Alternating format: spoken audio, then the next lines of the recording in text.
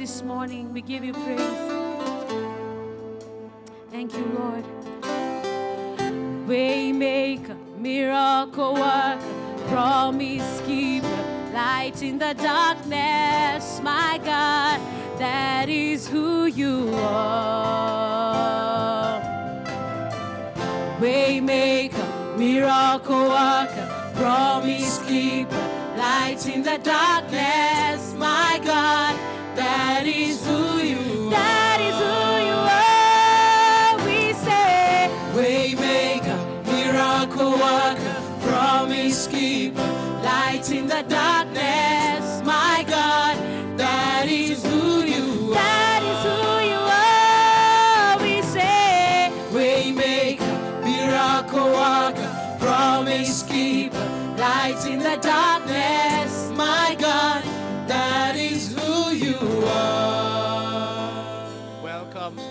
welcome to the online service from East Assembly. Thank you so much for joining us. Thank you so much. Praise the name of the Lord. My name is James Kafugi, and I am delighted, proud, and privileged to be your minister this morning. And um, wherever you are and wherever you are doing, help me welcome the worship team as the leaders into worship and praise. Thank you so much. You are here, moving in our midst. I worship you. I worship you.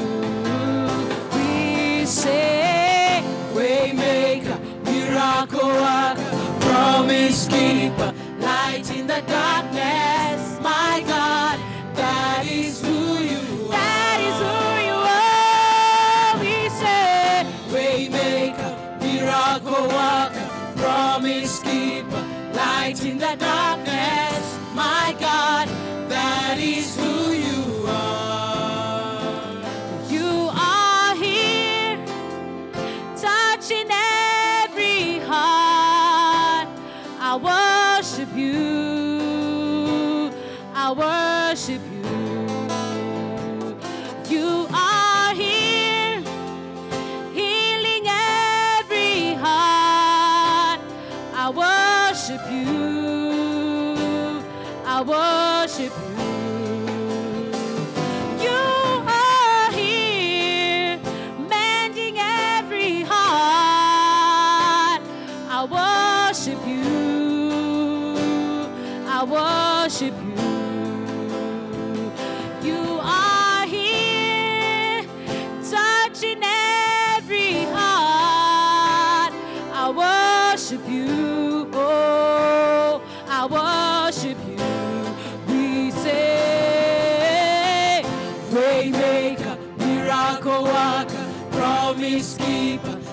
light in the darkness. My God, that is who you are. That is who you are. We say, Waymaker, miracle worker, promise keeper, light in the darkness. My God,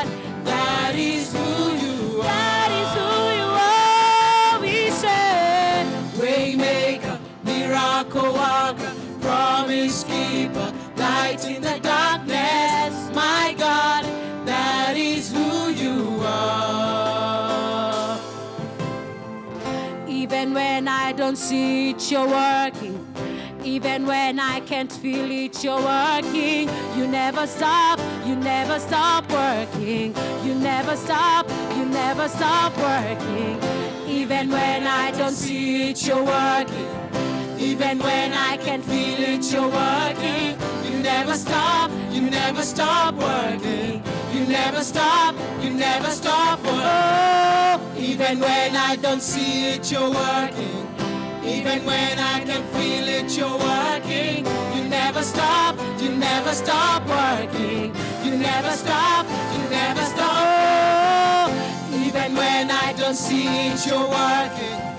Even when I can feel it, you're working. You never stop, you never stop working. You never stop, you never stop working. Oh, thank you for moving in our midst, oh God.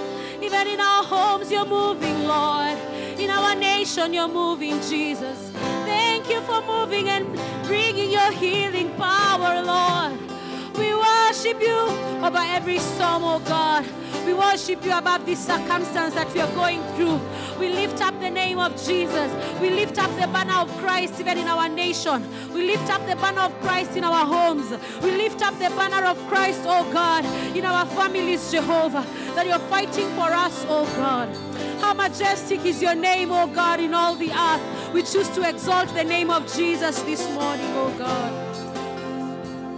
Hallelujah to the Lamb of God that was slain for the sin of the world this morning. We give you praise, oh God. How majestic is your name, oh Lord. Thank you, Jesus.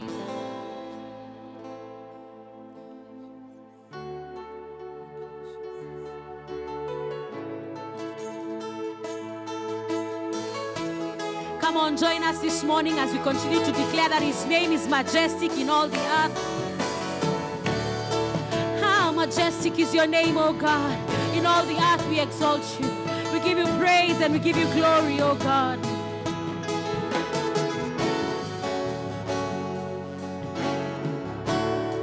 How majestic is your name,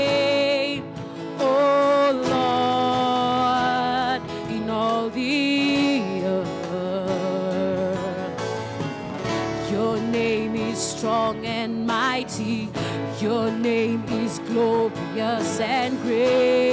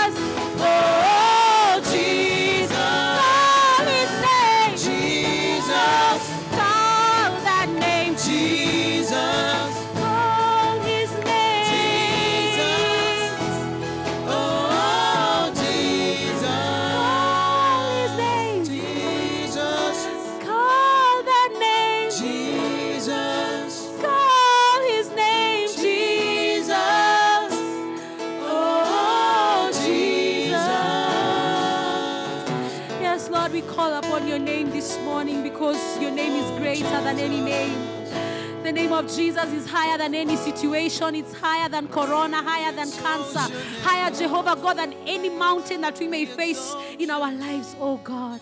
And that's why this morning all we need is you. It's nothing about us, oh God. It's all about you. All this is for you, oh God. Father, we want more of you, even in this season that you're drawing us deeper and deeper in love with you, Jesus. Thank you, Master, oh God.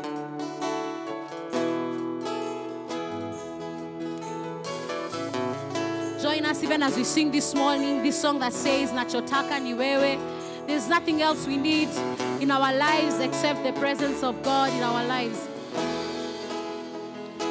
Nachotaka ni wewe, ni wewe tu. Nachotaka ni wewe, ni wewe tu. Haja ya moyo wangu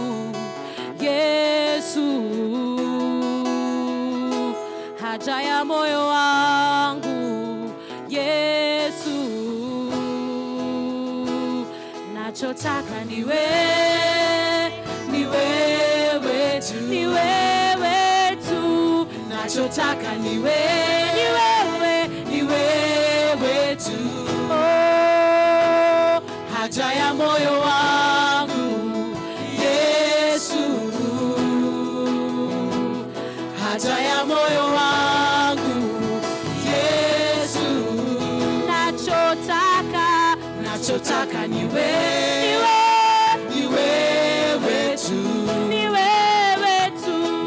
tu, nachotaka ni wewe tu, ni wewe tu, haja ya moyo wangu Yesu, haja ya moyo wangu Yesu, kama yala tafutavyo maji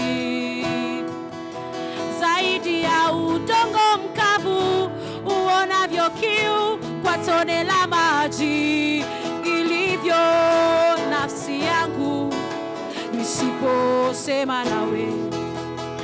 Ulivyo moyo wangu nisiposhiriki nawe.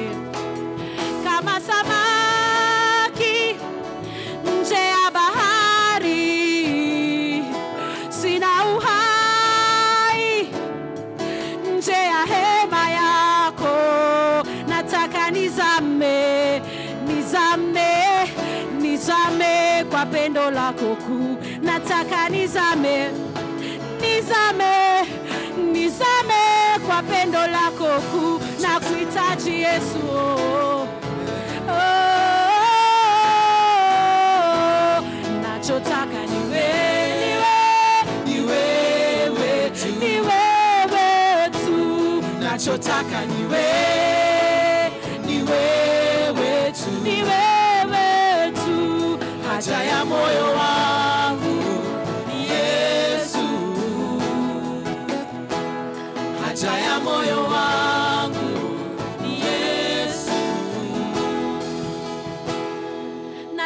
nikujue zaidi ya fahamu zangu, naona nikuinue zaidi ya hitaji langu, niloweshe kwa Roho nikujue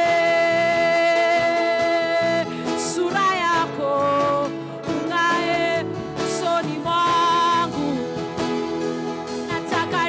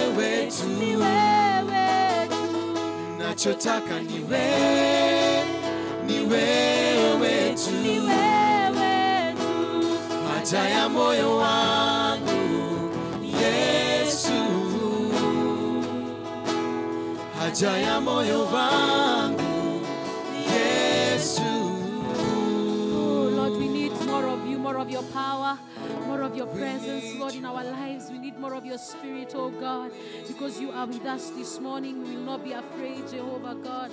We magnify you, Jesus. We worship you, King of glory. Lord, we desire to know you more than the thoughts in our minds, oh God.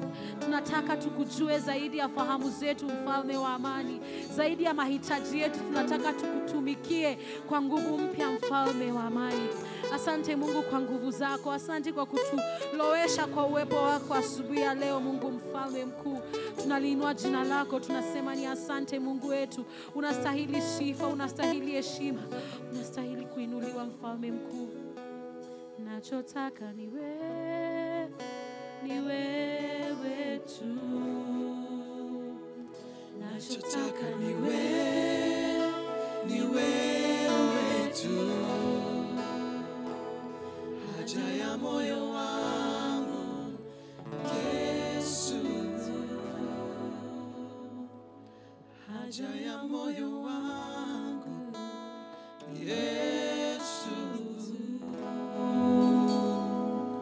So thank you so much to the worship team. And in such uh, uncertain moments, what I usually like to do when met with um, inexplicable situations, I like to resort into prayer. But more often than that, um, I'd love to offer encouragement to all and sundry, given that we are in a pandemic that has gripped the world. If you are fixated on the news, you're definitely worried about the trajectory that our, our country or you know the whole world is going. Uh, experts, um, scientists have laid a burden and have definitely said that as a continent, we are likely to be the hardest hit given our failing healthcare system. So I'd love for you to join me in prayer, in praying for the frontline health workers, for the young men, the women who have given their lives, dedicated themselves into combating this virus. I'd love to also pray for the scientists within our country, for the people, the essential workers, and also for wisdom within the government. And in all honesty, let us pray for discipline within our government coffers because we are all aware that whenever money is allocated to fight or deal with an issue in our country, corruption always looms. So let's remember to condemn the ones who might think of stealing money from this issue that has equalized everyone. I would love to also convey our deepest condolences to the ones that have lost their dear loved ones. As you know, our church is located in Buruburu. Long before the virus had come to our country on April 13th, on a Friday, you know, uh, you know, there were conspiracy theories that it wouldn't affect us as Africans, particularly black Africans, as it did other races. But we've been proven wrong. As the government has said, the virus is here and it's now locally transmitted. Of course, many of us are concerned about our loved ones, especially if you have loved ones who have pre existing conditions or people who are elderly or infants. So we may pray against that. We may pray for sanity. We may pray for our, you know, people's children, for the candidates who are about to sit for the exams this year. We pray for people who've lost their jobs, people who are living from paycheck to paycheck, people who are being ravaged by the floods. We pray against, I insist, the corruption that might be looming. We remind them that there'll come a day that they'll be answerable to the Most High. This is a disease that has affected the royalty, the leading political leaders globally. It is one that can affect anyone and everyone. It is one that is definitely causing depression. And we'd love to remind everyone that there is a name above every other name. It is Jehovah Rapha. Right now, we do pray and we do definitely hope for the best. There's a saying that we should hold firmly without wavering to the faith that we confess. May that be our encouragement this morning, even as we battle, even as we hope, and even as we wish for greatness and a vaccine and for normalcy to return. So, without much further ado, let me invite Reverend Elvis Irungu. So, kindly help me snap your fingers for Reverend Elvis Irungu. Thank you so much. Well, good morning. We thank the Lord for giving us this day so that we can worship together, hear the word of the Lord. And I had promised last week that we're going to continue with the series that uh, I had started. I spoke about self centeredness as a big problem in our families. And I had said I will give an antidote to self centeredness. And this antidote is called selfless service. So today I'm going to be talking about that because what most people are looking for in families is romance. And romance is good, it's just one of the pillars. But those pillars, or like that pillar, has to be based on the bedrock of self service in any family. In any happy family, there must be selfless service. Now, selfless service is not a cool term. We don't hear about it from Hollywood. We don't hear about it from our cultures. Even many people don't talk about it. So, selfless service is not a cool thing, it's not an aspiration of many people. Many young men are not aspiring to get married to young ladies so that they can serve them. And many young ladies are not aspiring to get married to young men so that they can serve them. Selfless service is patient. Selfless service is gentle. Selfless service is kind. And selfless service is gracious. So God made man and woman so that they can serve each other. And as I talk today, I know that there are difficult cases in families. And maybe I'm not going to be addressing that here, but I want to say that one difficulty is where one is married to a partner or a spouse who is forever cheating. Now, that is a very difficult case. But if you're living with such a spouse, then you need to know one thing that you are married maybe to a community wife or a community husband, and that is dangerous. So, you need to think about what to do with that if you're married to such a person. Another very difficult situation is where you are being battered by your spouse. So if your spouse batters you, that's a hard case. You never know when he's going to kill you. It's like living with death in your clothes. And so, those are two exceptionals that I don't think I'm going to be handling in this sermon today. But for the other things that make us fight here and there, I think they can be well handled within my sermon today. And I'm going to read from the Bible. We're going to get our text from the book of John, chapter number 13. We're going to see a beautiful story there. John chapter number 13, I read from verse number 1. Now, before the feast of Passover, when Jesus knew that his hour had come to depart out of this world to the Father, having loved his own who were in the world, he loved them to the end. During supper, when the devil had already put into the heart of Judas Iscariot, Simon's son, to betray him, Jesus, knowing that the Father had given him all things into his hands, and that he had come from God and was going back to God, rose from supper. He laid aside his outer garments and taking a towel tied it around his waist. Then he poured water into a basin and began to wash the disciples' feet and to wipe them with a towel that was wrapped around him. He came to Simon Peter, who said to him, Lord, do you wash my feet? Jesus answered him, What I am doing you do not understand, but afterward you will understand. Peter said, You shall never wash my feet. Jesus answered him, If I do not wash your feet, you have no share with me. Simon Peter said to him, Lord, not my feet only, but also my hands and my head. And Jesus said to him, The one who has bathed does not need to wash except his feet, but is completely clean. And you are clean, but not every one of you. For he knew who was to betray him. That was why he said, Not all of you are clean.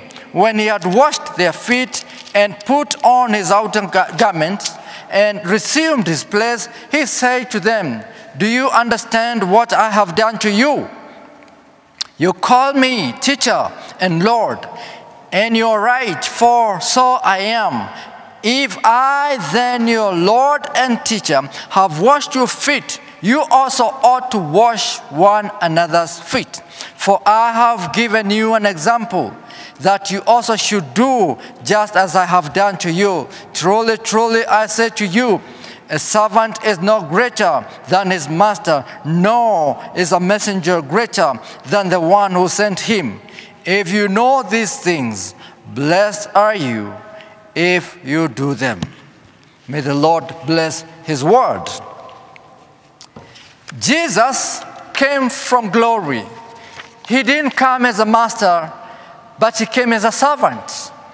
He said, I am not coming to be served, but I'm coming to serve.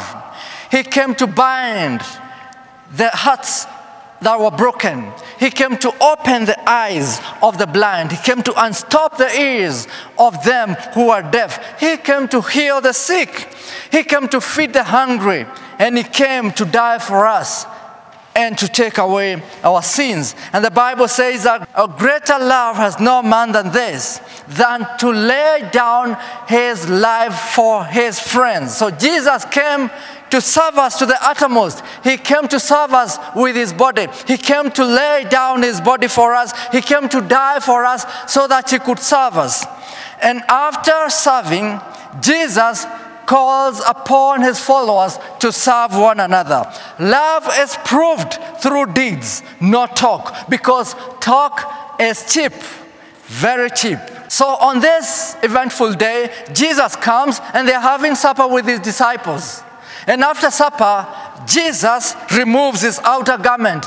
After removing his outer garment, he starts to wash the disciples' feet. He had a towel wrapped around his waist and he washed one disciple after another, one disciple after another. And then it came to Peter's time to be washed.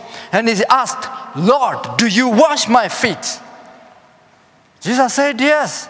And Peter said, No. Lord, you cannot wash my feet. And Jesus asked, Why? Peter, I have to wash your feet. You do not understand what I'm doing now, but later you will understand. And Peter says, No, you know, he's arguing like you see, masters do not wash the feet of their servants. It's the other way around. It's the servants who wash the feet of the master. So, Lord, I do not want you to wash my feet. But Jesus stands his ground and says, Peter, listen to me. If I do not wash your feet, you have no share with me. And Peter gets the message. And he allows him to wash his feet. And Jesus dries his feet. And you see, Jesus came over here to serve. He removed his outer garment so that he could wash the feet of his disciples. And after that, he told us to do the same. He said, I have set an example for you. I want you to serve one another. You see, many times we come into our homes with our garments, garments of who we are. I am a CEO, I am a great politician, I am a great doctor, I am a great lawyer, a great engineer, a great journalist. And when I come home, I come with those garments. I may not be able to serve because of what I think I am. When I come with that air to my house, I may not be able to serve. But if I come home and I want to serve, then at my door I'll remove that garment so that I can simply become honey or sweetheart or papa or mama. And that is what Jesus is encouraging us to do. That when we come home, we should remove those garments and just become papa, mama, honey, sweetheart at home. You see, our cultures have taught us many things. Like in the culture that Jesus was in, a servant is the one who was supposed to wash the feet of the master and not the other way around. But Jesus transcended that culture. Jesus overstepped. He went beyond that culture and began to serve. Another time when Jesus transcended the culture was when he went to Samaria and spoke to the Samaritan woman. At that time, Jesus went beyond culture because the Samaritans and the Jews don't talk. They were not talking at that time. And so Jesus went beyond culture and spoke to people that he was not supposed to speak to. At another time, was his, when his disciples were passing through the field, they picked some wheat and they began to eat. And some people were concerned that the disciples of Jesus were eating grains without washing their hands. But Jesus was not bothered by that. And Jesus said, It is not what a person eats that defiles him, it's what comes out of his heart. Jesus would keep overstepping the culture so that he could serve. And what do I mean by this? I am not saying we should do away with our cultures. I'm not saying that men should become women and that women should now take the roles of men in families. No, that is not what I'm saying. We should keep our cultures the way they are. But when necessary, we should be able to sidestep or overstep or transcend or go beyond the culture so that we can bring happiness to our families. Our cultures have taught us that men cannot mop floors. Our cultures have taught us that men do not cook. Our cultures have taught us that men do not wash clothes. They have taught us that men do not fold clothes. They have taught us, even in some places, that men do not spread beds.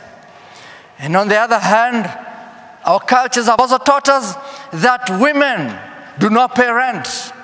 In other places, cultures have taught us that women do not pay school fees. It's a man's role. And that women do not give money to buy food. That is a man's role. And also that women do not give money to buy clothes for the family. That is a man's role. That is what cultures have taught us. In fact, some women say that your money is our money. That is, the husband's money is our money, but my money is mine alone. That's what women say in some cultures.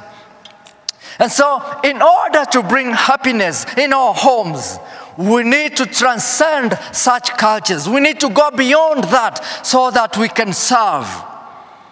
You see, someone by the name Robert Dale tells us this that servant leaders lead out of relationships. So, in other words, what he's saying is that if you want people to follow you, you need, you need to have a relationship with people.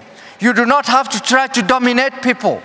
He also says that servant leaders lead from the love that they have for people and not domination. And so, if we borrow his words, when men come to their homes, they should lead from the love that they have for their wives and not trying to dominate their wives. And vice versa. Even women, when they come home, they should not try to dominate their husbands. They should live and relate to one another out of love. Another man by the name Gary Chapman, he teaches us five languages of love, and he has written this in his book, The Five Languages of Love. So, Gary Chapman tells us about these five languages of love. And he says, if you want to serve your spouse very well, you need to understand these five languages of love. And he talks about these languages. He says one of the language, one of the languages is the language of service. There are some people who feel very loved when people talk the language of service to them. In other words, when they are served by the people who love them, either their wife or their husbands, they feel a lot of love. That is one of the languages that he talks about. He also talks about another language. That is words of affirmation. Some people feel most loved when they are affirmed. Another kind of a language that he talks about is the giving of gifts. Some people feel very loved when they are given gifts. Another kind of a language that he talks about is spending quality time. Some people feel very good when their spouses spend time with them. That is when they feel most loved. And he encourages us to speak that kind of a language if that is what appeals most to our spouses. And lastly, he speaks about another language, and that is the physical touch. There are people who feel most loved when they are touched or hugged. And so, this man encourages us to go study our spouses, if we want to give them selfless service, if we want to give them very good service, we need to understand their language of love. Because if we speak to them in a language that does not communicate love to them, then we will not be communicating love and they will not be impressed. So if we want to impress them, we have to speak in a language of love, a language that they understand. For instance, if one's person's language of love is physical touch, if that is your language of love, and you think if you touch your spouse, that is when you're going to be communicating love, and maybe your spouse's love language is maybe an act of service, even if you touch them, you're communicating nothing. You're not communicating love. So if you want to communicate to such kind of a spouse, what you need to do is speak the language of service. Go fix breakfast and give them. Maybe iron their blouse or their shirt and give it to them. That is when they're going to feel loved. So if you want to express selfless service to your spouse, you need to understand your spouse. In terms of rating, one to five, I know that what is my number one is what is number five for my wife. So if I try to speak in a language that I understand most as a language of love, the one that makes me feel most loved, if I communicate to my wife in that language, she feels nothing. And so if I want to express good service to her, I have to speak in her language of love. And that is what all of us are encouraged to do. When we speak in the language of love that our spouses understand, if we give the services that they love most, then they feel valued.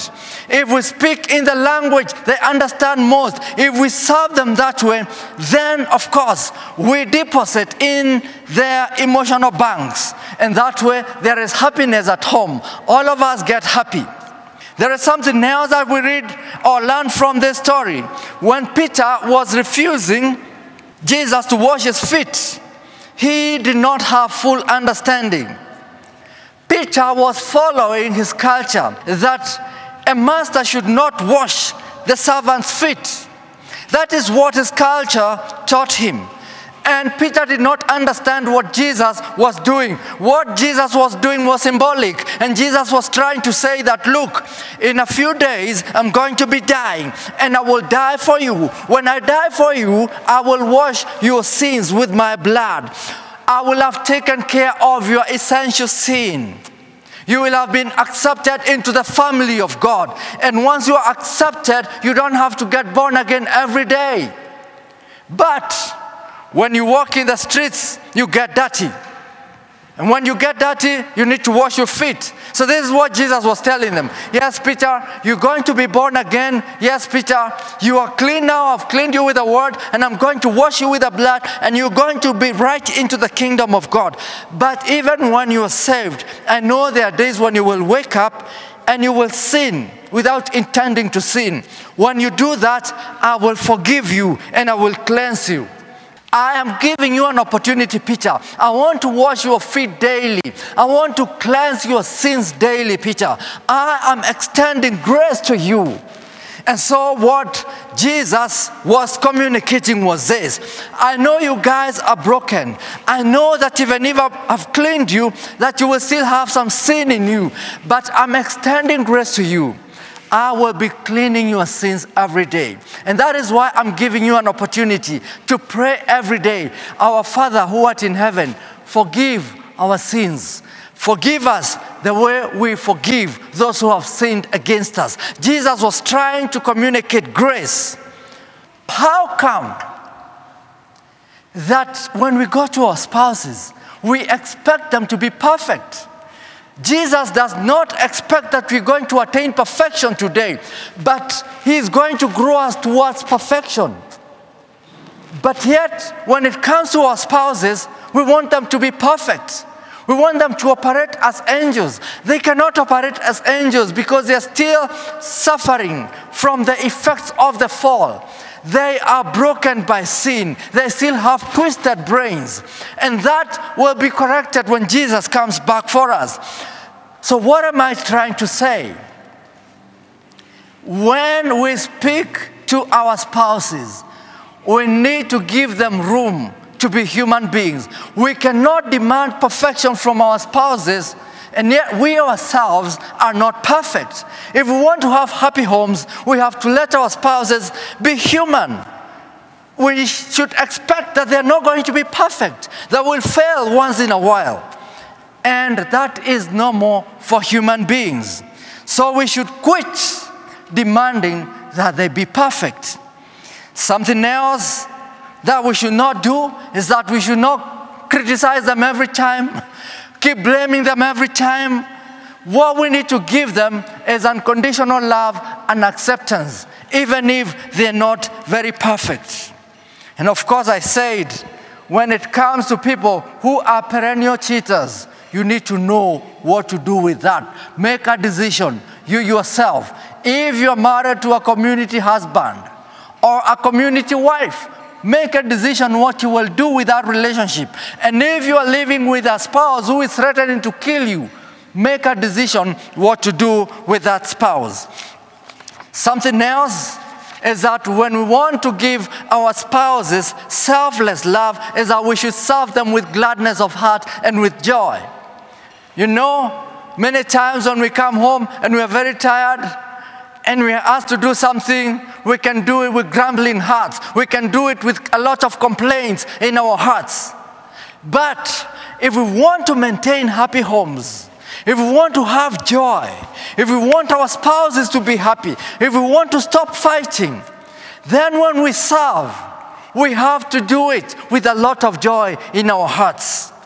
You see, if you come home and you find that your spouse has a lot of work and they request you to, to do something, like they request you to brush the shoes of the kids or to iron clothes or do something and help, and you grumble, they see it. And when they see you grumbling, they're not very happy.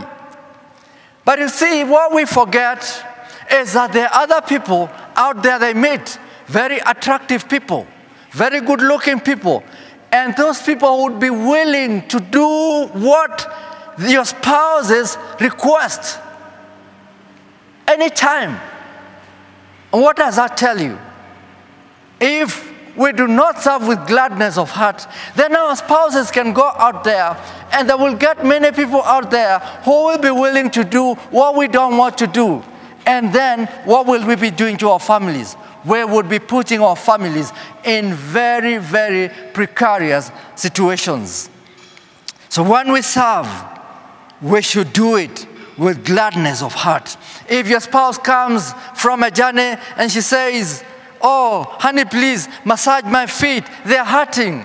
Don't grumble. Don't grumble. Just do it. After all, you promised before God and man that you're going to be there in good times and in bad times. If your husband needs you to do something for him, don't grumble, just do it for him.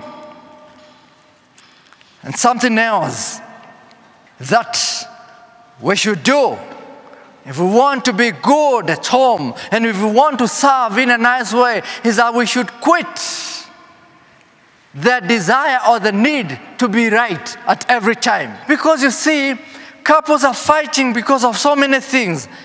Peter would have fought with Jesus Christ about who is right, about washing the feet. They could have argued. But you see, that is not very good in a home. If you want to make your spouse very happy, you should quit that need, the need to be right every time. Because people are fighting over very, very simple things in their homes. People fight over toilet paper. Should it run like this or should it roll like this? People argue. People argue about how to fold clothes. Should they be folded like this or like this? People argue. People argue about which side of the bed should I sleep. People argue. People argue about which is the shortest route to place A or place B. They argue. They argue a lot. People argue about who is going to control the music or the radio in the car. Which station are we going to listen to? People argue. And so, if you want to insist on being right, then you're not going to be displaying the humility that is needed to make your spouse happy. Lastly, I want to say this when you're serving your spouse, please make sure you spare some energy. When we leave our homes in the morning, we go spend all the energy serving our bosses, serving our colleagues, serving customers. We upbeat. In the evening, we want to go take coffee with our friends in the restaurants. We have energy, but by the time we're reaching home, we have no energy. When you reach there and your spouse says, Please, can you change the baby? You say, I have no energy. I am very tired. Your spouse asks you to do something else. You're tired. You have no energy. You cannot afford to serve all the people in the world and you have no energy for your family. We have to spare energy for our families. We have to work, work very hard, but know that we have to spare some energy so that when we're going to our homes in the evening, we have some energy to serve. Just in case we're going to find that our spouses are very busy, you may find your husband still working and he's buried in work, he still has work and he still has things to do. You need to have some energy so that if he asks you to help him, you will have energy to help. So we must spare some energy to serve our families. So I'm talking about selfless service for our families. How can we do that? Here are some few examples. For instance, a man can come and tell his wife, Today I want you to take an off. I will take care of the dinner, I will take care of the dishes, and I will take care of the babies. Go watch a movie, go have a rest. Or you can come home and you find your wife working and say that you're also going to mop the floor and that you're going to clean the toilet. Or you can come home and ask, What can I do to make your evening easier? What can I do? What can I do for you? Such things are going to give us happiness at home. Some of us should, should train ourselves how to cut a man's hair. Some of us should give breakfast in bed. Some of us should ask our spouses what they need. I like it when my wife asks me, What do you want to have for supper? Make your wish. And I make my wish. And by the time I reach home, I find that that meal ready. I feel love in the air. I feel good. I feel loved. And so, this is what I'm trying to encourage us to do. Now, we should serve our spouses. We should scan around, we should come home, scan around, and see what needs to be done. If we find that our husbands have a lot of work, see how we can help them. If we find that our wives have a lot of work, we help them. Somebody by the name Nancy Cobb and Connie Grigsby, these people wrote a book, The Politically Incorrect Wife.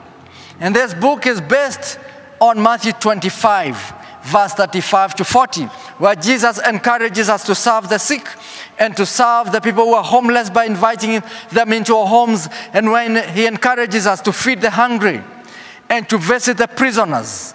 And you see, that's what they say.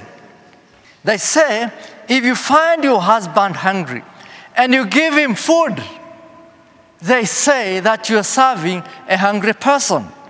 They also say if you see your husband walking in the compound and take him a drink, you are giving a drink to a thirsty person. They also say if you find him messing or he has made some mistakes and you accept him unconditionally, then it's like you have welcomed a stranger into our homes. And they say that when you know all the weaknesses of your husband and his vulnerabilities, and you do not expose him to children and to the family, then it's like you are clothing a naked person. And of course, if he has a lot of deadlines for work and you go and help him, then it's like you're visiting a prisoner. And what do they say about a wife? Is that when a man comes home, and he finds the wife and he takes time to talk to her. He sits and just talks to her, heart to heart. It's like this person is feeding a hungry person. And also, when somebody's wife behaves badly and this person does not retaliate, it's like inviting a stranger into your home. They also say that when your wife is emotionally low because of the realities of life. If you get to her and hug her and make her feel secure, it's like you are clothing a naked person. And lastly, they say, if you find that your wife is having mood swings and she's having hormonal changes in her body and you're patient with her, it's like you are taking care of a sick person and you're taking care of Jesus. That is what we're encouraged to do for one another. That is what we're encouraged to do to serve one another in our families. If we serve one another in our families, love will always be in the air. If we serve one another, we do not have to worry about romance. Romance will take care of itself as your love dying seek to serve your spouse. When you serve your spouse, there will be happiness in that home. That problem of lack of love will be solved maybe forever in your house. God bless you. See you next time. Just before I go, I want to pray. Let's pray. Heavenly Father, I want to pray for our families, oh God. I want to pray, oh God, in the mighty name of Jesus Christ, that we will begin to do what you have commanded us to do. You have commanded us to serve one another, oh God. You have given us the command, and the place where we need to start this service, oh God, is in our homes. We need to lay down our lives for our spouses. And I pray, oh God, in the mighty name of Jesus Christ, that you will help us to lay down our lives, oh God, for our wives and our husbands. I pray, oh God, in the mighty name of Jesus Christ, that God, that you will take away the self centeredness that we have been carrying around. And I pray, oh God, that that will be replaced with selfless love. Yes, God, I pray in the mighty name of Jesus that all of us will learn to serve one another in our families. This I pray, trusting and believing in Jesus' name. God bless you.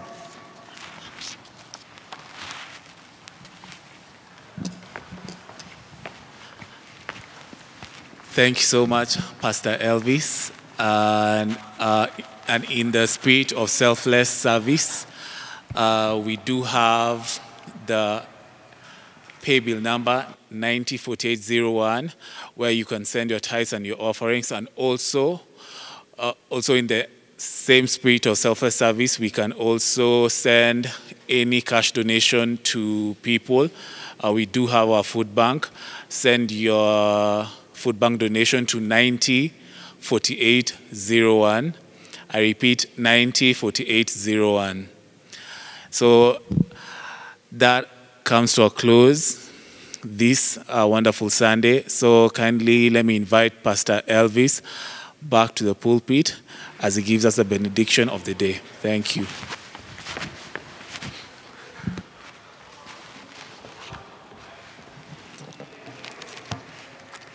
We're going to read our benediction from the book of Numbers, chapter number 6. And I will read the benediction. The Lord bless you and keep you. The Lord make his face to shine upon you. The Lord be gracious to you. The Lord lift up his countenance upon you and give you peace. God bless you and may he keep your families.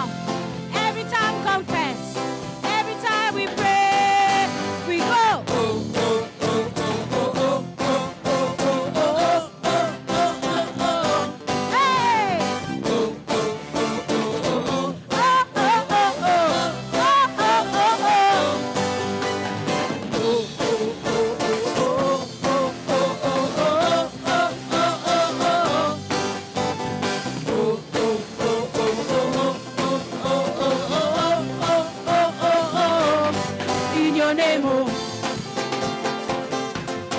Inyonemo, Inyonemo,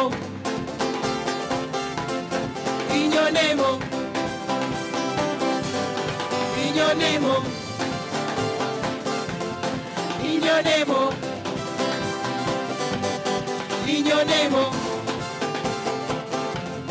Inyonemo.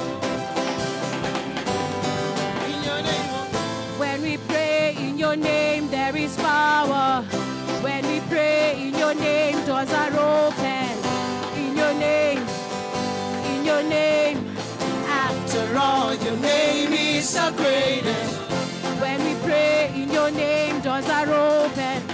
When we pray in your name, there is power. In your name, in your name.